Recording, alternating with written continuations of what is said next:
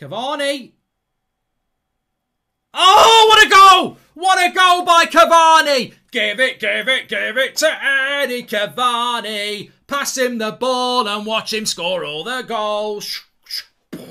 Absolutely fantastic. Absolutely incredible. Absolutely magnificent. Brilliant goal. Wow. Wow. He's got the wow factor. And I'm so pleased that he's signed his contract already because there might only be 10,000 fans in there. But he's he, to do that in front of the fans, he'll know he's made the right decision. It's De Gea here. I think it's an it's, I think it's an assist from uh, Bruno. Of course, it's an assist by Bruno. Bruno with the little flick. De Gea into Bruno. Bruno with the flick. And then the keeper's off his line and he's chipped him. Oh, it's delightful. What a goal.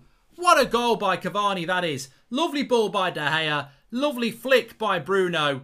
And then Cavani's through. The intelligence from the flick from Bruno. And then the sheer class from Cavani to chip a keeper from what? 40 yards out? Lovely flick by Bruno. I don't even think I don't even know if Bruno flicks it. I think he tries to flick it. It might just not it might there might not be nothing in it. They're talking a little bit about offside. But it's a lovely flick. It's a lovely chip. Pure quality by Cavani.